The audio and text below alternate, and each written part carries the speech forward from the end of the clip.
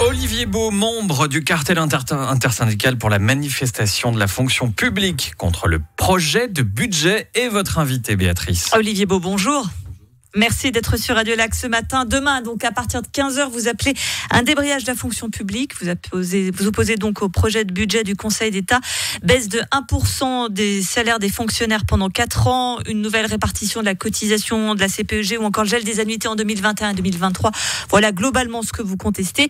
Et pour marquer votre opposition, vous appelez donc à manifester dans la rue demain, une nouvelle fois, vont dire certains il y a une grève. Il faut appeler les, le débrayage, c'est une grève à partir de 15 heures. Donc, en gros, c'est une heure de, grève.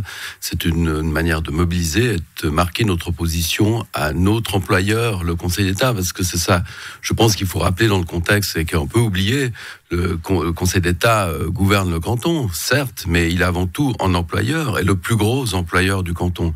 Or, quand l'employeur se comporte mal, il est normal que les employés manifestent leur opposition et leur colère, ce qui sera le cas demain. Euh, les plus facétieux feront remarquer que la grève euh, est annoncée pour le 29 octobre, après les vacances d'automne. Alors, il y a un préavis de grève pour le 29 mais demain, c'est bien une grève, mais elle commence qu'à 15 heures et le préavis de grève sera confirmé ou pas par l'Assemblée du personnel qui sera tenue à l'issue de la manifestation demain. Voilà. Euh, alors dans, cette affaire, c'est vrai que vous expliquez finalement euh, qu'il n'y a pas de raison de, vous faire payer cette crise du Covid-19. Or, le privé, on a payé un lourd tribut et a racheté des diminutions forcées du temps de travail, voire même des licenciements dans le pire des cas. En comparaison, c'est vrai que l'effort demandé aux fonctionnaires semble relativement acceptable? Je crois que c'est pas euh, au, Conseil d'État un employeur de décréter euh, euh, la solidarité et de piquer dans la poche de ses employés. Ça se voit nulle part ailleurs. La solidarité. Dans le privé, c'est ce qui est décidé. Non, l'effort de la fonction publique a été énorme puisque tout le monde l'a relevé. Donc c'est un peu facile aussi, en particulier le personnel soignant qui s'est donné sans compter au mépris de sa propre santé. Tout le monde a applaudi aux fenêtres à 21h. Et puis la réponse, c'est euh, par rapport aux primes qu'on voit dans d'autres cantons, par exemple, ou des revalorisations salariales qui sont attendues depuis longtemps. Là, la seule réponse, c'est même pas un statu quo, c'est même pas en remerciement quelconque, non, c'est on vous pique en salaire euh, mensuel par an. Donc c'est juste inadmissible. Mais de toute façon, c'est un mensonge, c'est une supercherie, cette histoire de crise Covid. On voit d'ailleurs qu'elle est, elle est à combien la crise Covid à Genève? Personne ne peut le dire. Même la Confédération a revu ses estimations de la crise de moitié, tout d'un coup.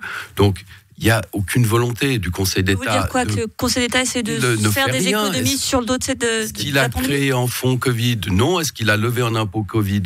Non. Donc, ce qu'il veut faire payer à ses employés, c'est la crise des recettes fiscales, notamment due à la RFFA, qui est la réforme de l'imposition des entreprises sur les bénéfices. Il ne s'agit pas de ponctionner les entreprises euh, de les saigner. Non, non, non, c'est sur les bénéfices. Je pense qu'on l'oublie. Donc ça, c'est 350 millions en moins pour cette année, et encore pire pour les autres années.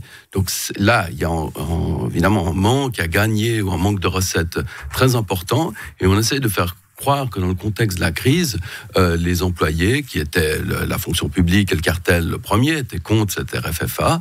Et bien maintenant, on doit payer le prix. Nous, c'est totalement injuste. Euh, vous évoquiez le cas bien spécifique du personnel de santé qui était très fortement contribué pendant cette, euh, pendant cette ce semi-confinement, euh, tous les fonctionnaires n'ont pas été euh, mobilisés à la hauteur de ce secteur qui évidemment était impacté par le fait que c'était une crise sanitaire. Est-ce que du coup, vous estimez qu'il faudrait peut-être euh, faire une différence de traitement entre ce personnel de santé qui effectivement est très mobilisé et l'est encore, et peut-être des fonctionnaires qui, eux, n'ont pas eu à travailler pendant cette période? Est-ce que ça pourrait être peut-être un, axe de négociation? Non, pas du tout. Je crois que globalement, la fonction publique, on met en avant le personnel enseignant parce que c'était visible et forcément euh, naturel dans le contexte. Et effectivement, il a beaucoup donné. Mais la sécurité aussi, le, corps enseignant aussi a dû travailler dans des conditions épouvantables parce que rien n'était prévu, etc. Donc le, la fonction publique a assuré les services à la population euh, et se voit euh, remercier d'une manière simplement dégueulasse, c'est tout. Euh, quand on regarde quand même, pour terminer, ce, déficit du budget qui, s'annonce, 501 millions de francs, un demi-milliard, c'est des sommes colossales pour tout à chacun. On se dit que l'État de Genève va devoir un jour, de toute façon, agir euh, oui, mais visiblement, la personne est d'accord sur la manière d'action parce que autant le cartel que, la gauche euh, cette, politique, mais la droite aussi. Alors, euh, qui se débrouille un petit peu parce que c'est ça le, problème, c'est que en fait personne n'est d'accord. Donc il y a peut-être des réformes structurelles à faire. pour l'instant, on n'en voit rien je veux dire, c'est toujours au jour le jour et de l'improvisation.